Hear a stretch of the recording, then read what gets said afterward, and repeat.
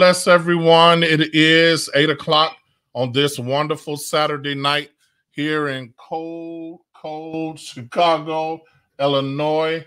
We are at our third streaming on today. It's time for Saturday night Sunday school, and what a blessing this Saturday has been. We have been in a Sunday school boot camp all day long, starting this morning with our Saturday morning Sunday school and Minister Jacarius Conley from the Morehouse College in Atlanta, teaching our youth and young adults on this Saturday afternoon. Missionary Simona Petra Ross did an excellent job. Both of them were magnificent.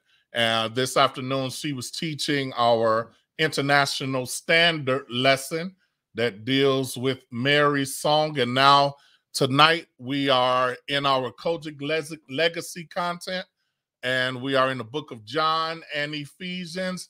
Merry Christmas to absolutely every one of you from Saturday Night Sunday School and the entire team that works and make this go off every Saturday.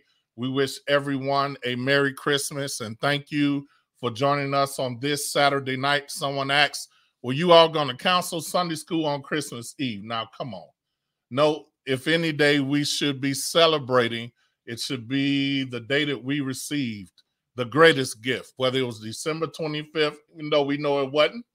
We are grateful to have this chance on this Saturday night for the 613th edition. We're going to move quick because we have one of the greatest ever who is going to be our instructor and we want him to have as much time as he would like to take. So if you will, please like, share, comment.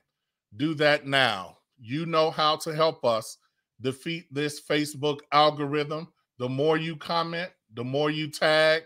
There you go. Just say Merry Christmas. The more you hit those hearts, it helps us with the engagement. Not so we can be so wonderful. That is not what these 613 Saturdays just to be wonderful? Absolutely not.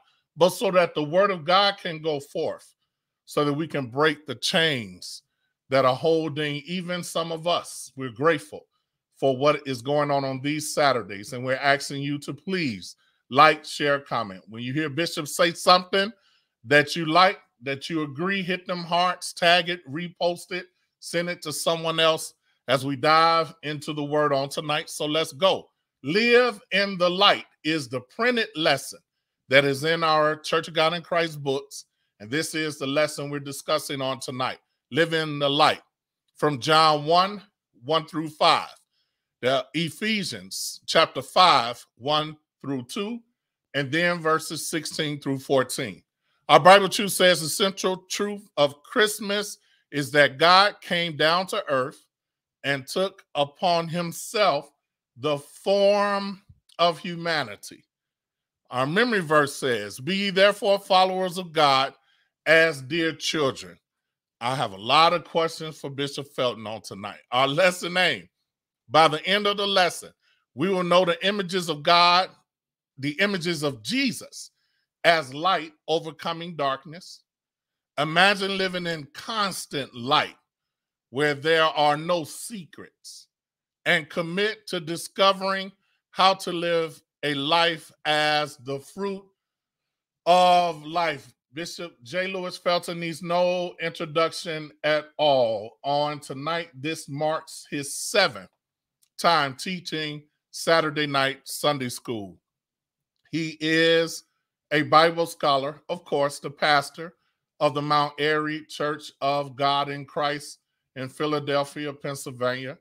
Uh, but God has gifted him with teaching, with an understanding of the scripture that is absolutely profound. And we do welcome, Bishop, all of our students that are currently in the Sunday school department's teacher certification. They will be on tonight with you. We honor our international president, Mark Ellis, and the program that was created by the ISSD to train Sunday school teachers. We told them that the teacher of teachers will be teaching on tonight, and we are honored to have live from the Mount Airy Church of God in Christ on a Saturday night on mm. Christmas Eve, the one and only. Thank you to Sister Raquel, your granddaughter, Elder Johnson, who are there working as tech with you. I owe them once again as they have sacrificed in the cold to come be with their pastor, their bishop. Bishop Felton, thank you so much for all that you do for us in the ministry of Sunday school. And at this time, we are in your hands, sir.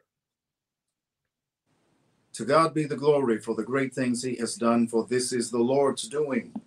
It is marvelous in our eyes. Thank you, Elder Michael Payton, for this opportunity for the seventh time to engage in teaching Saturday night Sunday school. And certainly we thank God for the leader of our International Sunday School Ministry, Dr. Mark Ellis, and certainly our presiding bishop, Bishop J. Drew Sheard, Mother Barbara McCoo Lewis, and the host bishop for uh, Illinois, Bishop O.C. Booker, who hosted the Bishops' Conference on this year, to all of the saints of all denominations who have joined us ecumenically this night. We're grateful for this opportunity to share the word of the Lord. Inasmuch as we are engaged in a tremendous battle tonight, atmospherically, as well as spiritually and supernaturally, let us pray together on this evening for all of those who are facing difficulties in this frigid weather system that has gripped our nation. Eternal God, we come to you in the name of Jesus, thankful to you that you have given us this opportunity to come to the Lord's table. Bread of heaven, bread of heaven, feed us until we want no more. We thank you for this Advent season, for this Christmas Eve. And we pray your blessings upon your people throughout this nation and world. We have been literally in the eye of the storm. Very few people have escaped this wrath of nature as shock waves have reverberated throughout our transportation system. Many are without power this night in the cold, some trying to travel, some have lost their lives Ohio Turnpike. Uh, we pray, God, for bereaved families during this time, especially for Southwest Michigan Agape, who on yesterday, uh, their prelate, Bishop Clyde Jones, was eulogized. We need you.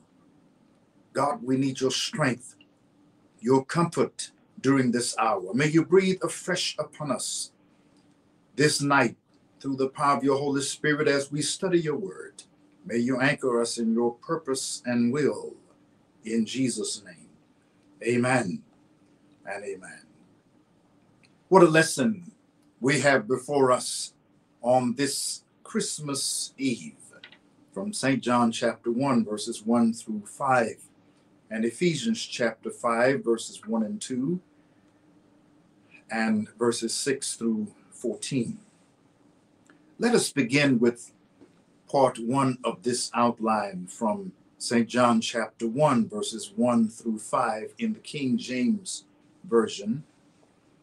In the beginning was the Word, and the Word was with God, and the Word was God.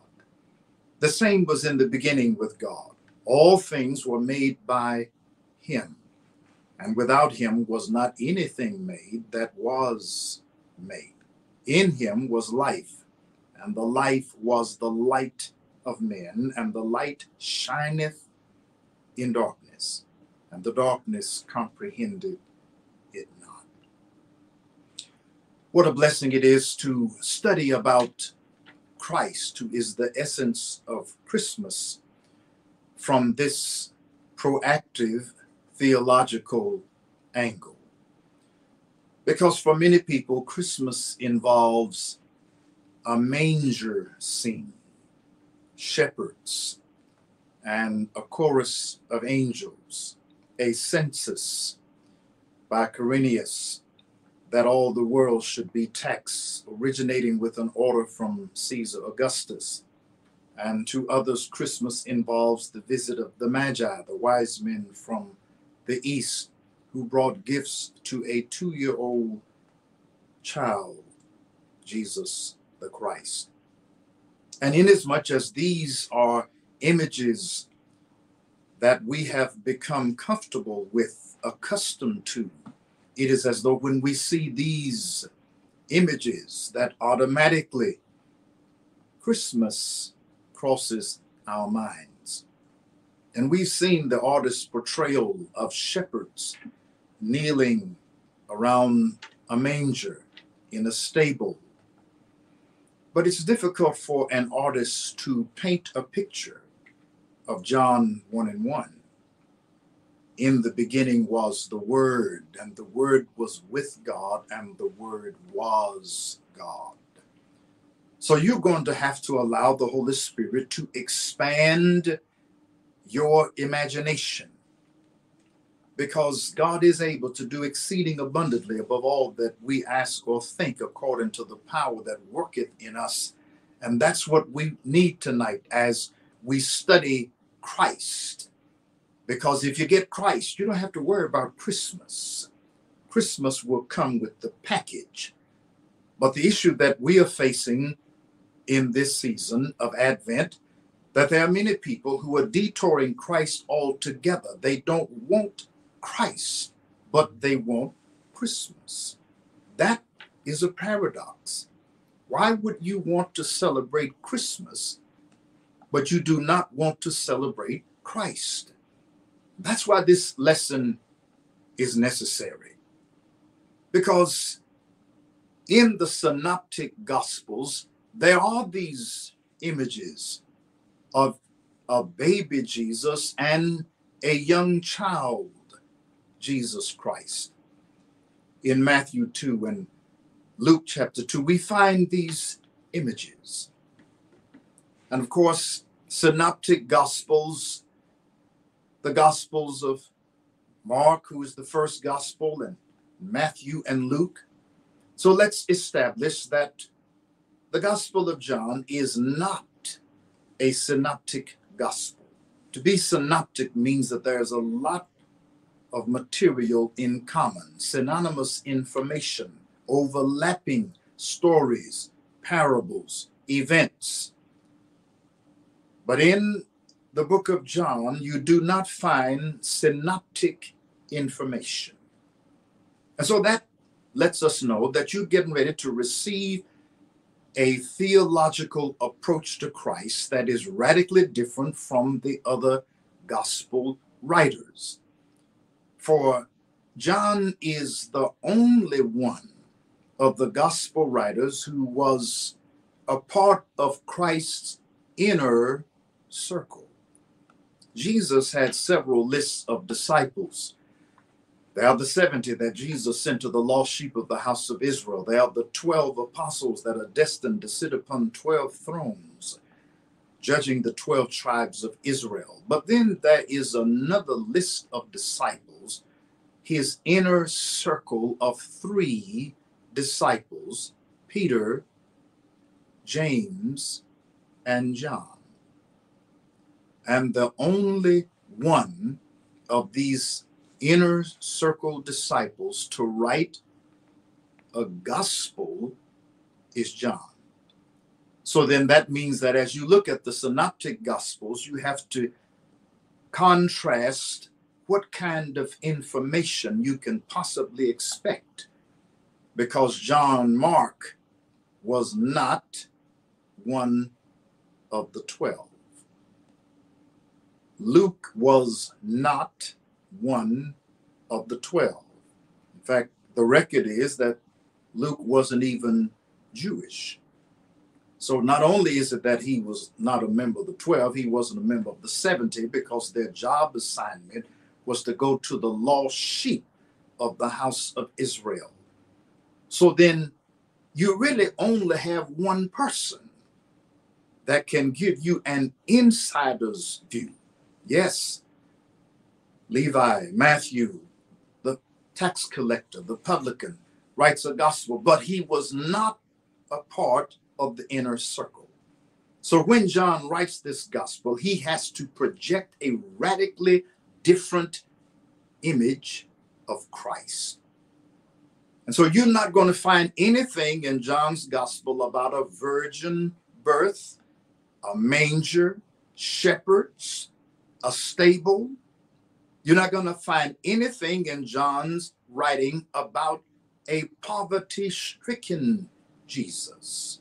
That's not the image that he wants you to see. So when you read the stories of Christ's nativity in Matthew and Luke, you're reading about the man, Christ Jesus. When you study from John, you're studying about the God, Christ Jesus. And so that is that convergence that we have to experience of the humanity of Christ and the divinity of Christ. Remember, John is the only disciple who dies a natural death, the longest liver of the disciples, intensely persecuted. And yet, God caused him to survive because he had a mission for his life. And he writes this gospel in the late first century, in the 90s AD. And when he writes it, that is a pernicious hearsay that is being circulated by a group called the Ebionites who deny the full deity of Christ. They said that Jesus was not fully God, that he was sort of half God or demi God. And that is why it becomes necessary in our searching the scriptures, wherein we think we have eternal life, to stand firm upon the doctrines of the kingdom. Jesus Christ is fully God, 100% God, while at the same time being 100% man. There is no compromising on that issue. And so let's understand that the reason why John needs to write this gospel away from a manger, away from a stable, away from shepherds, is because he needs us to expand our understanding of who we have in Christ. And in order to do that, he has to take us all the way back to the point before time begins. That's what John 1 and 1 does chronologically. And the Bible is not written in chronological order, which is why it becomes necessary to have a branch of theology called systematic theology to organize the themes of Scripture. If the Bible were to be chronologically written, the first verse in the Bible would be John 1 and 1. And you can order and purchase chronological Bibles who can give you that kind of timeline. So before Genesis, which means beginning, and before Genesis 1 and 1, which says, In the beginning, God created the heaven and the earth. John 1 and 1 comes before that. The argument that he states, obviously, is that even though Genesis 1 and 1 says, in the beginning, God created, before he created, he had to already be there. So, what John does is take you before the act of creation and say, in the beginning was the word. Now, even though this sounds just like little WRD, it is not little WRD. This is capital W O R D. And so that's a whole different image, person, revelation than little w o r d. So in the Greek mind, the spoken or written word is the rhema. But the logos is the invisible power behind the visible creation. In the beginning was the logos, this presence, this person who is Jesus Christ, the pre incarnate Christ. That's who John is writing about. In the beginning was the capital W O R D, the logos, the word. And of course, 37 years ago, at the 78th International Convocation at Mason Temple in Memphis, Tennessee, Bishop C.L. Anderson introduced me to preach on the opening night of that convocation, and that was the sermon that night. In the beginning was the word, and I still have the DVD, the original DVD from the 78th International Convocation 37 years ago. And that's going way back to talk about DVDs. That's almost along with eight tracks and so, you know, I didn't just show up last night. 37 years ago, that was the message that we opened the convocation with at Mason Temple in Memphis. And you understand that this eternal revelation of Christ as the capital W O R D, who is the one who creates all things. The scripture says the word was with God and the Word was God. You understand that with this collateral imaging of Genesis 1 1 and verse 2, which is where we're introduced to the Holy Spirit, and the earth was without form and void, and darkness was upon the face of the deep, and the Spirit of God moved upon the face of the waters. And after the Spirit of God moved upon a chaotic earth, then God was ready to bring cosmos or order back to a chaotic earth and says, Let there be light. John then takes us from the original move of the Holy Spirit in revealing light and then brings it home to us in John chapter 1, verse 1. Live in the light. Notice that John employs these great metaphors. Light is a metaphor of God. The fact of the matter is, we really can't wrap our intellectual arms around God. His ways are past our finding out. So then, in order to get a handle on God or to try to embrace the vastness of God, metaphors become necessary. John uses the metaphor of light, life, and love in his writings. Why use the metaphor of light? Well, the fact of the matter is, without light, life is impossible. And that is why the record is God is light, and in him is no darkness at all. We do recognize that God can move in through and in spite of the darkness, but God does not reveal himself or use darkness as his mantra. So you don't want to go around saying, well, God is darkness. God is not dark. The record is God is light, and in him is no darkness at all. He can use darkness and work in spite of darkness manifest himself in darkness, but he is the light, which is why we are commanded walk in the light or live in the light. The path of the just is a shining light that shineth more and more unto the perfect day. Light is what gives us order.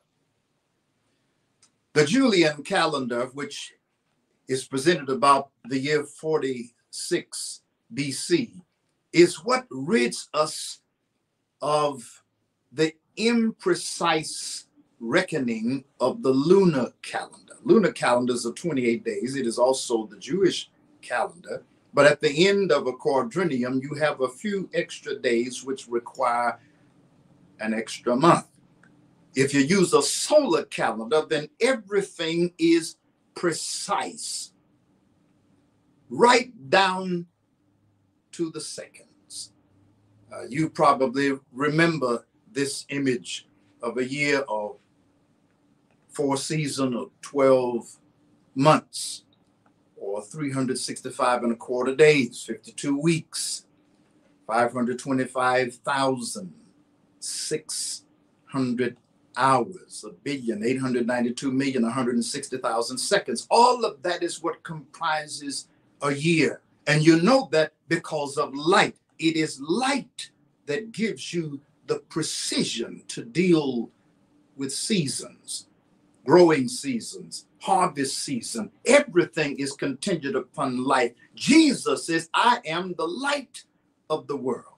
But he's not saying that exclusively of himself because when Christ is in you, you are the light of the world. There's that metaphor again. You are a city that is set on a hill that cannot be hid. You are the salt of the earth. This is the image that we need to develop to balance the perspective as far as this Advent season is concerned. Because if your only image of Christ is that of a baby born in poverty, wrapped in swaddling clothes, lying in a manger, then you have missed what the incarnation is about. What this passage of scripture is saying in telling us in him was life and the life was the light of men. And in verse 14 of John chapter 1, the word was made flesh, came and dwelt among us, and we beheld his glory, the glory as of the only begotten of the Father, full of grace and truth. This is a reversal of roles. For we are told in the beginning of John chapter 1, the word made everything, which gives you an idea of how great the logos, the capital W O R D, because all things were made by him. From something as small as a grain of sand by the seashore to something as large as the universe. From something as small as the radioactive isotope of an atom to something as large as a nuclear explosion. The contrast here is that God took the power that makes volcanoes erupt and hurricanes roll and tornadoes twist and makes the earth quake and then packaged it in a single cell that the Holy Spirit placed in the virgin womb of Mary. And when the Holy Spirit conceives this divine child, He's surrounded by corruption, but he himself is incorruptible. He's made flesh so that we can behold his glory, the glory as of the only begotten of the Father, full of grace and truth. For no one has seen God at any time, but because Jesus is in the bosom of the Father, he's the only one that can reveal him, and he reveals him by showing up because Christ is the express image of God, according to Hebrew chapter 1, verses 1 through 3. And when God gets ready to show himself, he expresses himself through Christ. God shifts gears from plurality to singularity with ease. Remember, Genesis 1 tells us, let us make man in our image. And of course, you have to negotiate that because there are incongruent terms involved. When God says, let us, that's plural. When God says our, that's plural. But then he says, let us make man in our. If you're using us and our, if you wanted to be congruent, you would say images. Us and our involve images. But because God can move from plural to singular with ease. The plural God, the let us God, in our image God, says, I only have one express image, and that is Jesus Christ. And so when God gets ready to express himself, he does so through Jesus, who is the image of the Father, who said, When you've seen me, You've seen the Father because I'm in the Father and the Father is in me. Now, if a person tries to be a Jesus only or apostolic, you're going to have some real serious issues with that. Yes, there is a Trinity. Yes, there is God the Father, God the Son, God the Holy Spirit. But when God manifests himself, his express image is Jesus Christ. And if you want to talk to the Father, you call Jesus. If you want to receive the Holy Spirit, who is another totally different identity and person, you still have to come through Jesus. And so without Jesus, we can do nothing. And that is why Jesus brings illumination, He brings light. He gives us the power to overcome darkness. The scripture says, The light shineth in darkness, and the darkness comprehends it not, can't figure it out, can't stop it from shining. And it is even so with you that when God sends you forth as the light of his kingdom, the enemy would love to shut you down. But God has already given you power. Greater is he that is in us, that is he that is in the world. He has made the church indestructible. The gates of hell shall not prevail against it. The application of this truth, then, is what we find in Paul's writings in Ephesians chapter 5, when he writes to the church at Ephesus and says, Be ye therefore followers of God as dear children, and walk in love. That's another metaphor.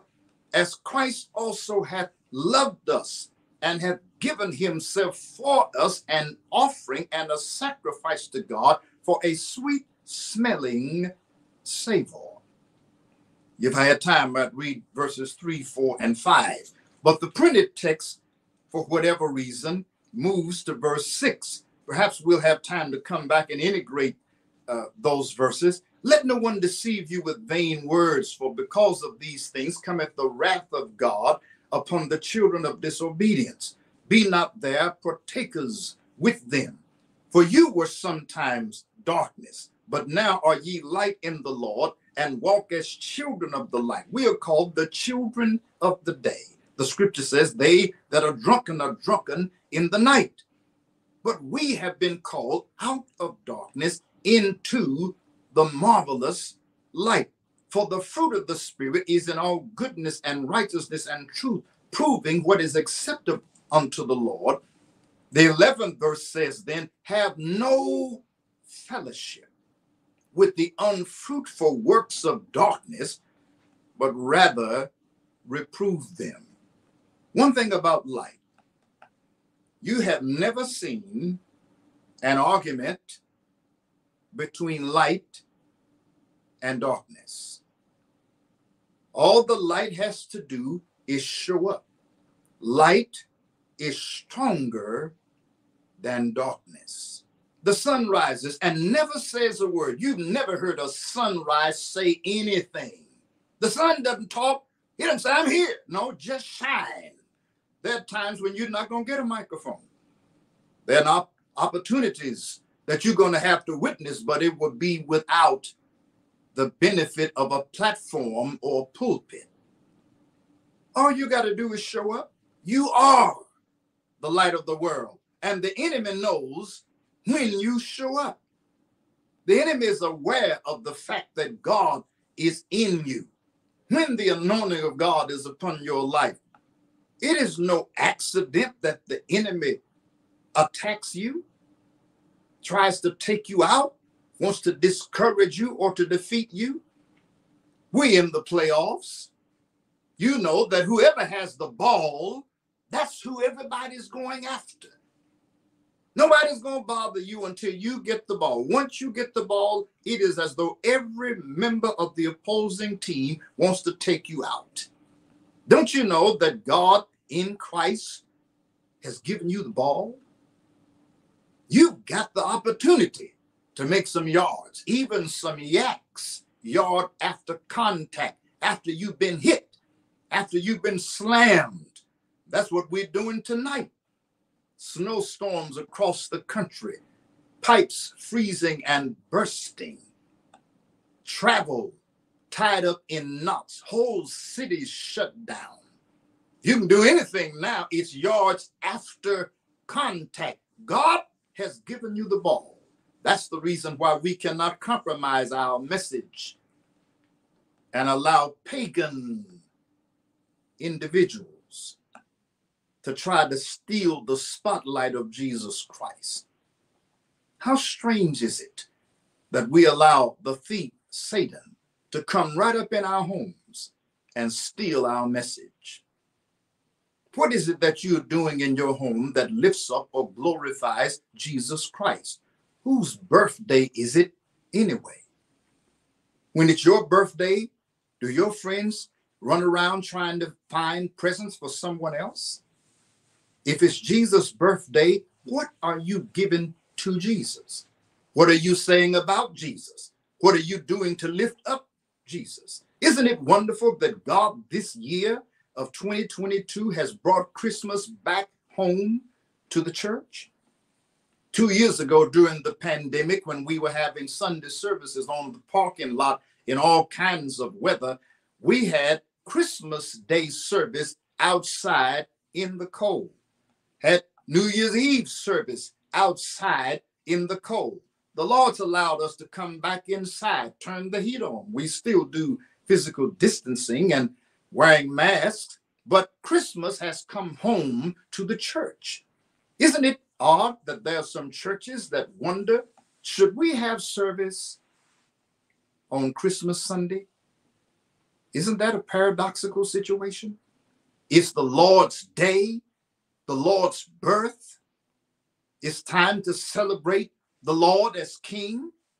And then somebody wonders shouldn't we be opening gifts, sitting around the tree, drinking eggnog? Why? Because it's Christmas. What about Christ? What happened to your witness? What happened to your authority? Jesus first. And if you seek first the kingdom of God and his righteousness, all these things shall be added unto you. You must understand that during the Advent season, there has always been a mixture of triumph and tragedy. When you understand the significance of Christ's incarnation, do you think the devil wanted Jesus to come into the world? Don't you remember those vivid images that when the wise men came seeking for Christ, how they upset everything because they asked the question directly of Herod? We want to know where is he that is born the king of the Jews? Doesn't it strike you as odd that no Jew was asking that question? no person who is a citizen of Israel, not the prophets or priests, but God raised up witnesses. As the Lord speaks in the book of Esther, deliverance will arise from another source. If Israel became too spiritually insensitive to recognize the time of your visitation that your Savior is born, then deliverance will have to rise from another source. It took these men from another culture, non Jewish, non European, to come shaking up everything. Where is he born, king of the Jews? And Herod is so upset that when the wise men move in a different direction, the record is that he sent forth his soldiers to kill all the children two years old and under. Don't you understand the spiritual warfare we engaged in during this season? The medical community has said December 25th through January 1st is the deadliest season of the year. More suicides, more domestic abuse, more depression. This is a time of supernatural struggle this isn't a time to hit the cruise button and think you're going to just cruise on into 2023. You've got a rite of passage to go through before you get there. And the closer you get to the finish line, the tougher it becomes to win the race. Yes, these are critical times, grief stricken times, times of war, times of spiritual attack, times of frontal assault by the enemy. It's always been like that. There is a struggle between the forces of good and evil. But light, life, and love through Jesus Christ always win. Listen to the command of the apostle in verse 14 Awake thou that sleepest, and arise from the dead, and Christ shall give you light. Even in the valley of the shadow of death, Jesus is our light. Even in times of depression, confusion, and war, God gives us life through Jesus Christ. So, my beloved brothers and sisters in Christ, as the apostle says, this is a wake up call. Don't sleep through Advent. Don't sleep through Christmas. Don't allow the enemy to mythologize Christ because the image of Jesus in a manger next to Santa and Frosty and the Grinch, that doesn't work. You're the one that has to put a difference between light and darkness, between good and evil, between holy and unholy. You're the one that has to stand up for the truth with your children and teach them about Jesus Christ. And if you don't have the intestinal fortitude to teach little children the truth about Christ, then don't be disturbed when they're confused later in life. Don't plant the seeds of spiritual compromise and confusion to your children. They need to know up front that Santa Claus ain't bringing you nothing. Every good gift and every perfect gift is from above, cometh down from the Father of lights, with whom there's no variableness, neither shadow of turning. If we want a real Christmas, then you want the love of Jesus Christ. That's what this light is about. It is the light of love, hatred, anti Semitism, racism, sexism, discrimination is darkness. But let the light of God's love shine in your life. For God so loved the world. What does that mean, the world? He means unregenerate sinners. God hates sin, but he loves sinners. He loves sinners so much in that while we were yet sinners, Christ died for us. God so loved the world that he gave his only begotten Son, that whoever believes in him should not perish, but have everlasting life. But then he draws the line, as is customary in the writings of John. The contrast God sent not his Son into the world to condemn the world, but that the world through him might be saved. For this is the condemnation that men love darkness rather than the light because their deeds were evil. If you let your light shine, the darkness cannot stop it from shining. Light is stronger than the dark. So the scripture says, let your light so shine. There's a difference between a shining light and a burning light. A shining light points us in the right path, leads us in the right direction. A burning light simply is a light that's on.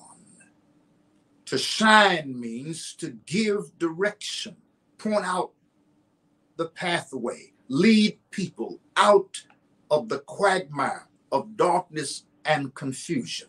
The Bible does not say, let your light burn. He says, let your light so shine. Let it shine in a way that the spotlight is not on you, but is on Christ, that others may see your good works and glorify the Father which is in heaven. Why don't we just pray? Eternal God, our Father, we thank you for this Christmas Eve with all of its challenges, its storms. We thank you for this Christmas Eve because we can't thank you for the good without also thanking you for the bad because your word says giving thanks for all things to the Father through Jesus Christ. So we don't just give thanks in all things, but for all things because your word says it. And the reason why is because we know that all things work together for good to them that love God and are the called according to his word. So we release healing tonight. We release deliverance. We release the power of the word of God upon those who are grief stricken, bereaved, and broken to realize that even in this darkest of seasons, two days ago, we celebrated the winter solstice, had the shortest amount of daylight all year. This is the season when our light shines the brightest. So, God, rebuke every discouraging spirit, rebuke every spirit of compromise. Raise us up, as your word says, awaken us out of darkness, awaken us from death, that Christ may give us resurrection, life and light and love. And we celebrate you, Jesus, not just in Advent or on Christmas, but we celebrate you through the power of the Holy Spirit every day of our lives. Because Jesus, you are Lord and you're King. You're governor of every nation and all authority is in your hands. And we praise you for the victory, for the joy of the Lord, and for the manifestation of your glory through Jesus Christ. Amen and amen. Well, let's praise God. Thank God for the power of his word. Amen. Well, I don't know how much longer you're going to give me, Elder Payton, but I'm trying to stay within your guidelines.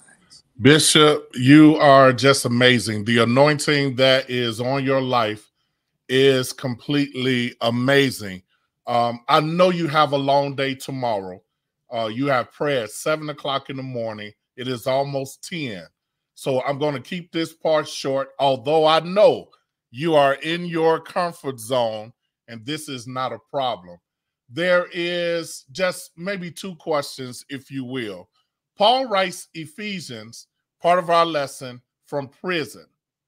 And as we've been studying this month, the book of Ephesians, we've tried to ask the teachers to give us their point of view on why this is what is on his mind while he is at this point, with this being one of the four gospels that he wrote. What is your take on, of course, it's the Lord anointing him. What is your take as a scholar, as a teacher? Why is this so important to Paul at this particular time? Well, thank you, Ella Payton. Uh, the book of Ephesians has as its theme the church, the body of Christ. And throughout this epistle, he lifts up the resurrection power of Jesus Christ. Now, we need to understand the history behind Paul preaching in Ephesus. Come on, sir. That when Paul preaches in Ephesus, the the uh, emphasis is upon Acts 19, when he goes to a church in Ephesus. And when he gets to this church, he asks one question Have you received the Holy Ghost since you believe? And their response to him was, We have not so much as heard whether there be any Holy Ghost. And so, to understand the essence of why he needs to write this even from prison is because there were 12 people present when he asked that question. And they are in the city of Ephesus. Now, I did see somewhere in the exposition about Ephesus being the second largest city in the Roman realm. It's actually the third, with 250,000 people in ancient times. Corinth is the second largest city with 750,000 people. Yes, sir. And we know that Corinth was the one that rivaled Rome because Rome fought Corinth in the third century and came back and did it again in the second century because Corinth was growing so fast that it was becoming almost as big as Rome, and Rome was always an insecure city and empire. Mm-hmm. And so when Paul writes this to the church at Ephesus, remember their answer when he said, Have you received the Holy Ghost since you believe? We never heard it. Now, that doesn't mean it hadn't been preached. Mm-hmm. Because when he said, Unto what were you baptized? They said, Unto John's baptism. And there are a lot of people who never turned the corner from John's baptism to Jesus' baptism. That's what I need to open up. Wow. These people said, We've been baptized. And there are people that have sung and run down the aisle and shouted, already been to the water, already been baptized. Well, let's let's understand this. Baptism is never a been there, done that experience. Baptism is a progressive and continual work of the Holy Spirit. And whenever God is ready to take you to another dimension of service, you experience another baptismal event, immersive event, slam dunk event. Look at the life of Christ. Several baptisms, not just in the Jordan River, but when the Holy Spirit lit upon him in the bodily form of a dove, and in Matthew 20, when Sister Zebedee's son said, in a ventriloquist statement, we want to sit on your right and left side. Jesus started talking about drinking the cup and being baptized. How dare Jesus talk about baptism? No pool, no river, no creek, no water. Jesus said, Are you able to be baptized with the baptism I am baptized with? Not that I have been baptized with, nothing about being to the water.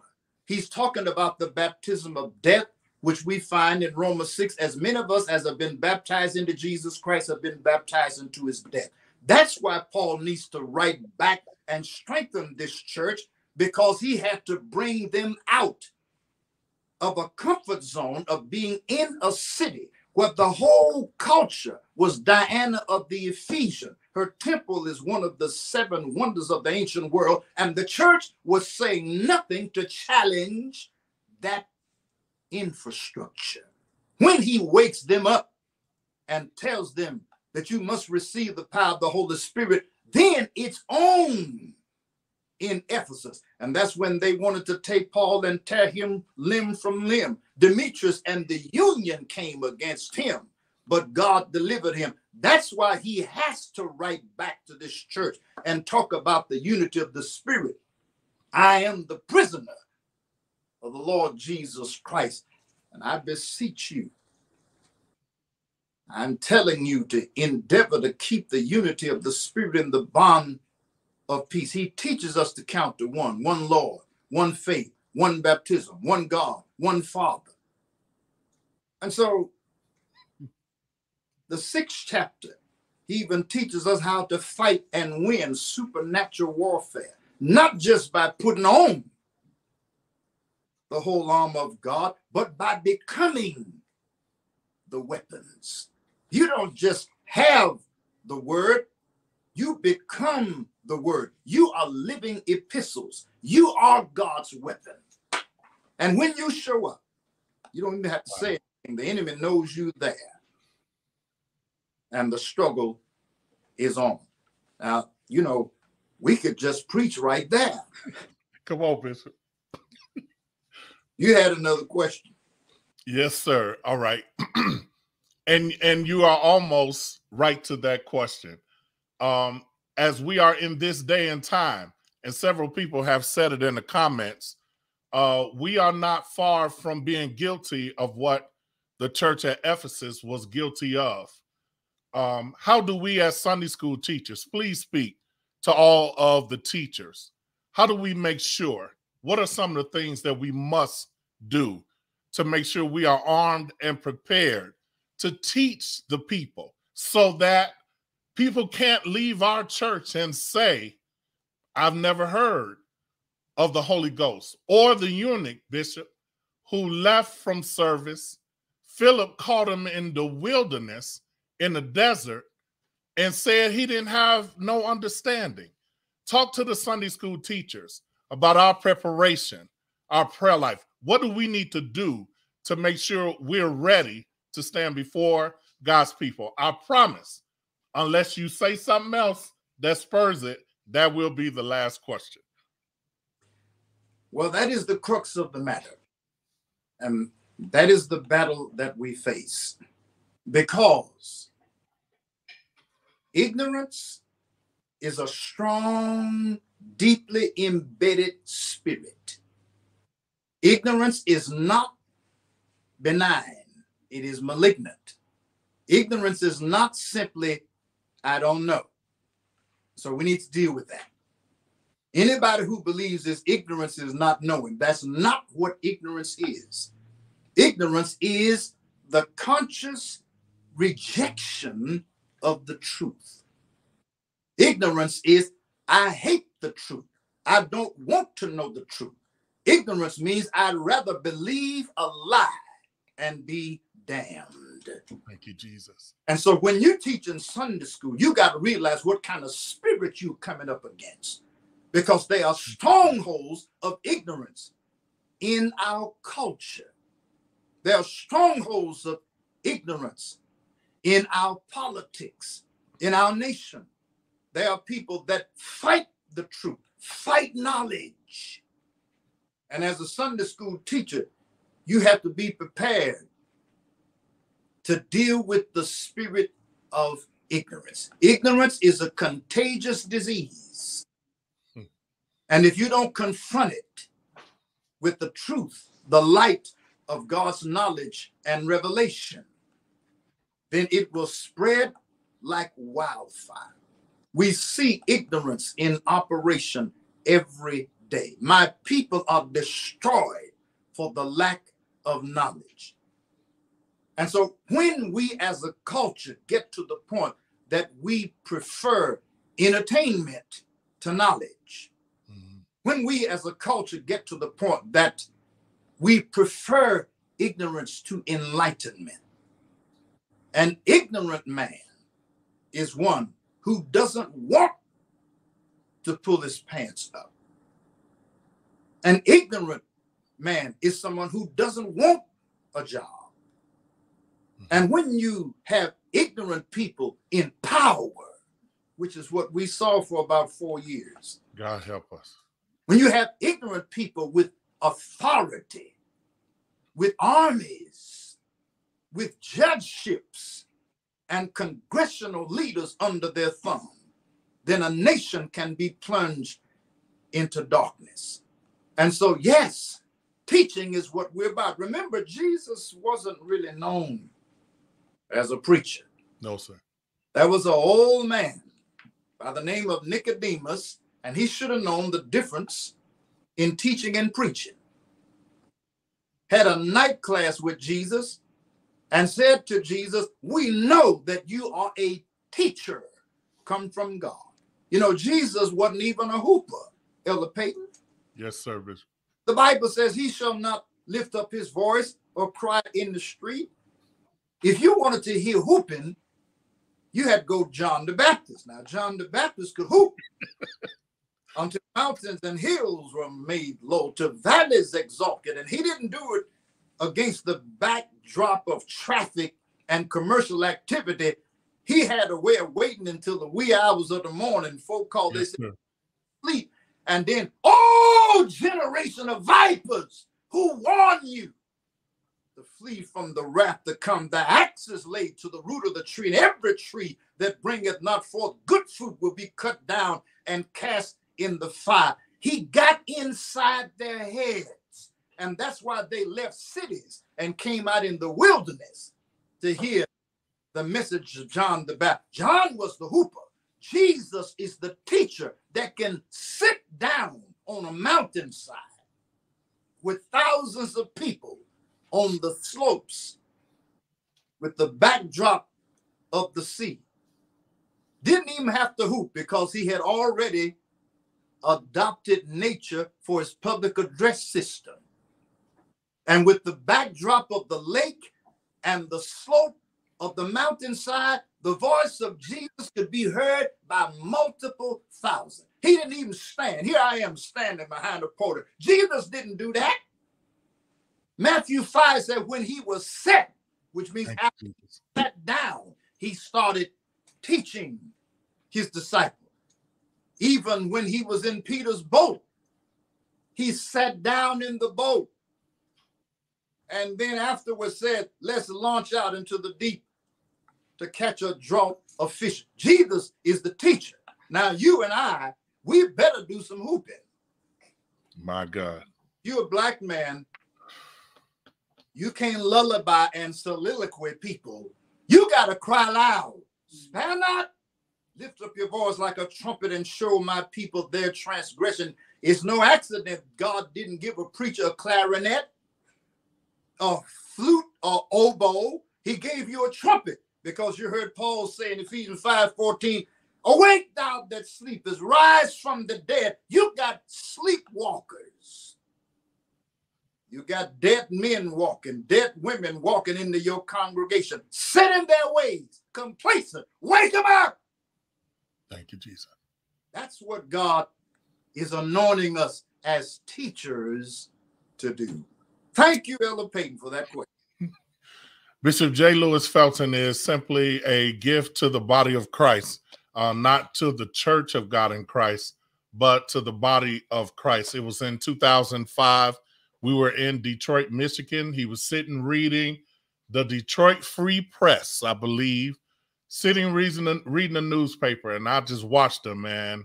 Took the courage to walk up and introduce myself to him. And since 2005, he has been a mentor, an example. He has been someone that I can count on for the truth. He will tell me how he feel, and I seek after his perspective.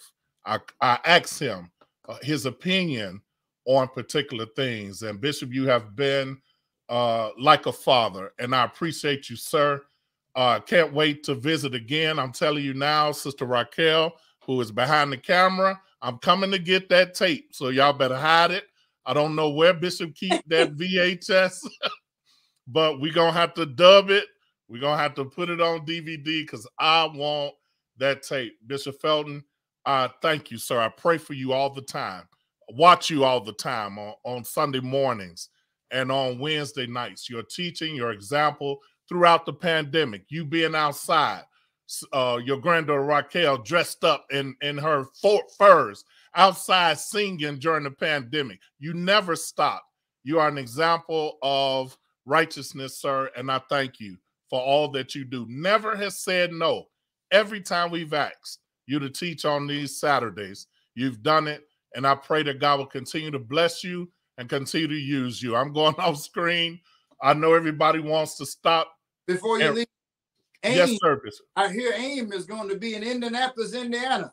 We're going to Indianapolis, sir, and we already know you already know what we need you to do. Yes, sir. Oh, July oh, oh. through the seventh. July third through the seventh. Oh, that I, Thursday and Friday, we're gonna need you, sir. You got me. We certainly appreciate you. I'm going off screen.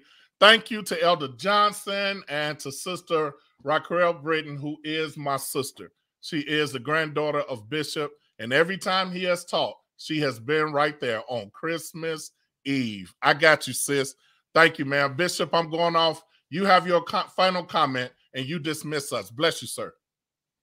Amen. Thank you so much, Elder Michael Payton, for this opportunity. Uh, the old saying was if you know your Bible, the Sunday school needs you. If you don't know your Bible, you need the Sunday school. Let us pray. Heavenly Father, we thank you for another opportunity to sit at the feet of Jesus Christ. We thank you for your healing word.